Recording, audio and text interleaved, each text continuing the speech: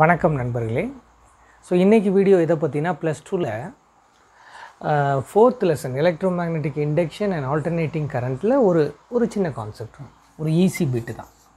Eddy கரண்ட்டுன்னு சொல்லுவாங்க. அதுவும் அதனுடைய அப்ளிகேஷன்ஸும் பார்த்து வச்சுக்காங்க. இது வந்து என்ன ஃபார்மெட்லேயாவது அந்த கொஸ்டின் வரலாம். Two three five any format right அப்போ முதல்ல எடிங்கிறது வந்து என்ன வார்த்தை அப்படின்னா சுழல் காற்றுன்னு சொல்லுவோம் நம்ம. இல்லையா? அதை வந்து இங்கிலீஷில் எடிம்பாங்க ரைட்டா? அதே ஒரு நீர் சுழல்னா வேர்ல்பூல்னு சொல்லுவோம். அதே மாதிரி காற்றில் வரும்போது அதுக்குடைய அந்த சுழல் காற்றை எடிங்கிற வார்த்தையை வச்சு சொல்லுவாங்க. அப்போ இங்கேயும் இப்படி சுழல் மாதிரி உருவாகக்கூடிய ஒரு கர கரண்ட்டை பற்றி தான் இப்போ பார்க்க போகிறீங்க சரி இந்த கரண்ட் எங்கே உருவாகும் அப்படின்னா ஒரு mass of metal just like this உலோக கட்டின்னு சொல்லுவோம் இந்த மாதிரி. ஒரு பிளாக்கு ஒரு இரும்பில் இந்த மாதிரி ஒரு ஒயராக இல்லாமல் இப்படி ஒரு கட்டி மாதிரி இருக்கக்கூடிய இடங்களில் இதை நம்ம பார்க்கலாம். இப்போ இதான் அந்த பிளாக்கு ஒரு மாஸ் ஆஃப் மெட்டல் இதை என்ன பண்ணுறேன் you just imagine like this இது ஒரு நார்த் போல் இது சவுத் போல் இதுக்குள்ளே இந்த சாலிட் பிளாக் ஆஃப் மெட்டலை ஸ்விங் பண்ணுறேன் இல்லை. இப்போ முதல்ல உங்களால் ஈஸியாக ஸ்விங் பண்ண முடியும். பட் ஆஃப்டர் சம் டைம் இதில் உங்களுக்கு என்ன ஆகும்னா இந்த எடி கரண்ட் உருவாயிரும். அதே லாஜிக் தான். ஃப்ளக்ஸ் சேஞ்ச் ஆகிறதுனால க்ரியேட் ஆகிறது தான்.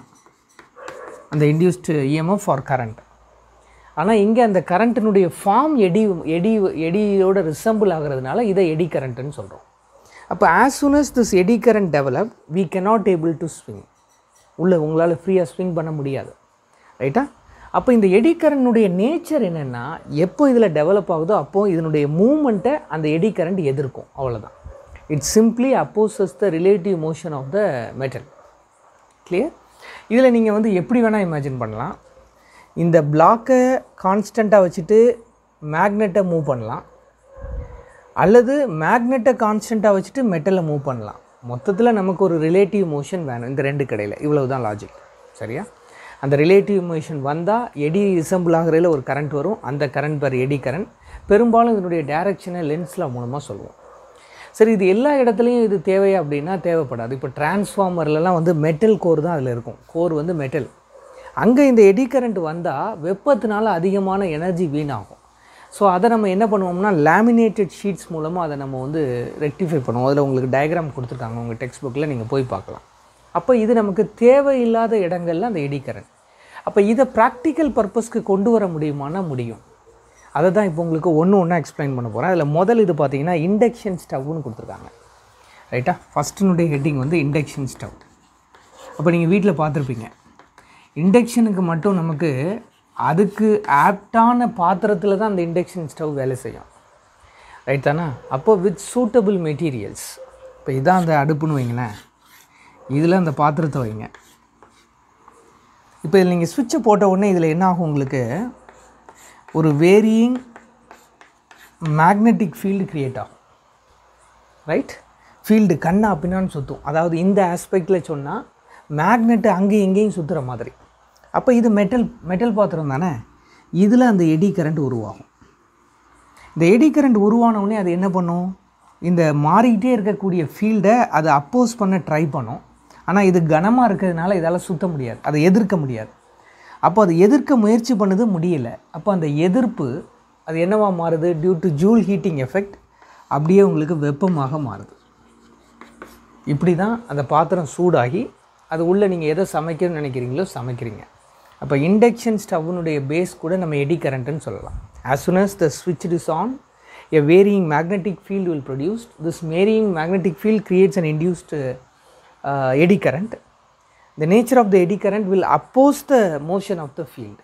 அப்போ when they try to oppose right heat will be generated ஏன்னா அதால் எதிர்க்க முடியுது நகர முடியல அப்போ அது வெப்பமாக அது உருமாறுது. அதை வச்சு சமைச்சிடுறோம். பேசிக் ஐடியா இதுதான். ரெண்டாவது ஒரு ஹெட்டிங் கொடுத்துருக்காங்க.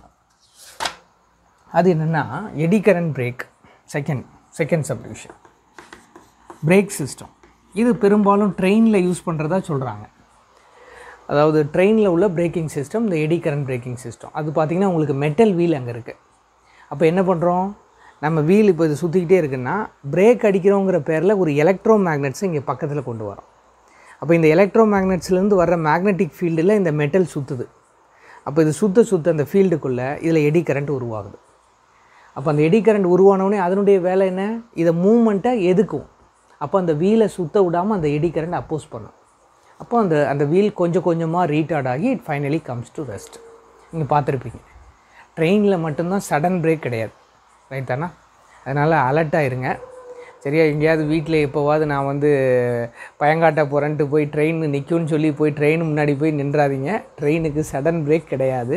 குறைஞ்சது ஒரு ஐம்பது மீட்ரு நூறு மீட்ரு தள்ளி தான் அதை நிப்பாட்ட முடியும். அந்த காசியஸ் எப்போதும் இருக்கட்டும். ரைட் தானே? இது சார் வந்து உங்களுக்கு வந்து ஒரு ஜஸ்ட் ஃபார் ஃபன் நான் சொல்கிறேன் ரைட்டாக நீங்கள் அப்படிலாம் பண்ண மாட்டீங்க.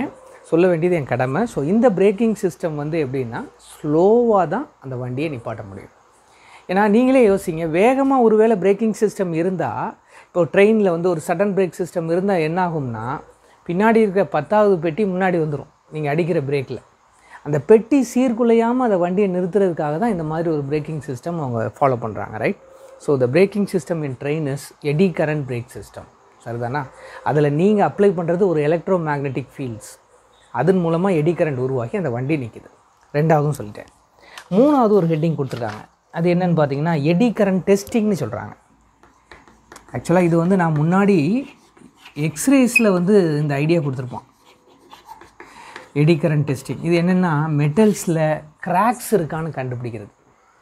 ரைட் அவங்களுக்கு ஃபார் ஒரு இன்ஃபர்மேட்டிவாக இருக்கிறதுக்காக நீங்கள் நம்ம வீட்டில் வீடு கட்டுறீங்க அப்படின்னா கன்சீல்டு பைப்பை வந்து நம்ம வந்து உள்ளே வைக்கிறோம். பிளாஸ்டிக்கோ மெட்டல் பைப்போ செவுத்துக்குள்ளே வச்சு நம்ம வந்து இது பண்ணுவோம். இப்போ அந்த பைப்பில் வந்து ஒரு சின்னதாக மைன்யூட் லீக் இருக்குதுன்னு வச்சுப்போம். அப்போ என்னாகும்? அதுலேருந்து நீர் கசிஞ்சு கசிஞ்சு அந்த செவர் ஃபுல்லாக இதாகும். அது அந்த செவரையும் பாதிக்கும் அந்த பில்டிங்கினுடைய ஆயுளையே குறைச்சிரும். அப்போ உங்களுக்கு பார்த்தா அதை உங்களால் வந்து அதில் வந்து மைன்யூட் கிராக்ஸ் இருக்குன்னு சொல்ல முடியாது.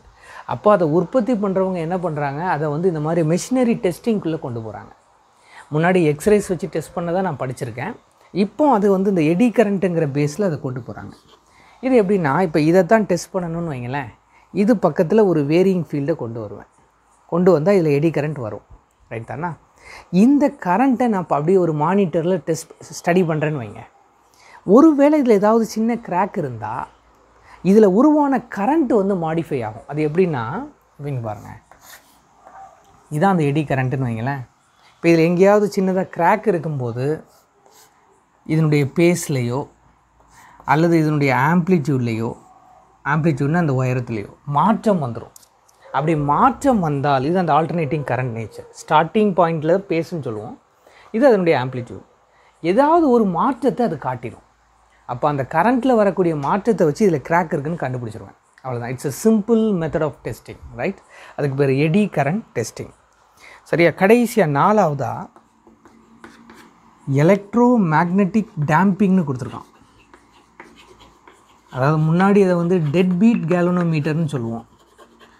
அப்போ இந்த கேலோனோமீட்டருடைய பிரின்சிபல் நீங்கள் பார்த்துருந்தீங்கன்னா தேர்ட் லெசனில் ஒரு கரண்ட்டு போகக்கூடிய இடத்துல அதாவது ஒரு காயில் ரெக்டாங்குலர் காயில் இந்த காயில் இப்போ மேக்னெட்டுக்குள்ளே கொண்டு வரீங்க. இந்த காயில் என்ன ஆகும் மேக்னெட்டுக்குள்ளே வரும்போது based on the strength of the current they will rotate டார்க்குன்னு சொல்லுவோம். இப்போ இது மேலே ஒரு நீடில் இருக்கும். ஆ- ஒரு ஆர்டினரி கேலோனோமீட்டர்னால் இந்த கரண்ட்டை பொறுத்து இந்த ஃபீல்டில் இது திரும்பும்போது இந்த நீடில் இப்படி அசையும். இப்போ இது அசையுதுன்னா என்னால் ஒரு வேல்யூவை கரெக்டாக புரிய முடியாது. எந்த வேல்யூவை இது காட்டுதுன்னு சொல்ல முடியாது. இது ஒரு ஆர்டினரி கேலோனோமீட்டருடைய பிரின்சிபல் இப்போ இங்கே இது ஒரு மெட்டல் கோட்டிங்கில் இருக்குதுன்னு வச்சுக்காங்க. அதாவது இந்த டெட் பீட் கேல்வனோமீட்டராக இருந்தால் இது இப்போ ஃபீல்டில் நகரும்போது எடி கரண்ட் உருவாகும். வந்த உடனே இதை இந்த அசைவை அது நிப்பாட்டிடும் டைஅவுட் பண்ணிடும் ரைட்டா அப்படின்னா இந்த நீடில் வந்து ஒரு ஒரு ஒரு கரெக்டான வேல்யூவை காட்டும். ரைட் தானா?